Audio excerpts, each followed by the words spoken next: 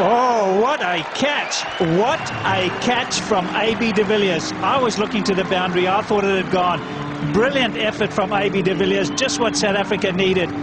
My word, what a catch. And you know why Ian Bell bit of grimace there after that was because A.B. de Villiers took an equally brilliant catch off Ian Bell on this ground during that test series just finished. And it was again when Bell was well set. What a shame for him. He'd done all the foundation, but he's gone for 35 with a lot of work still undone. England 77 for 1.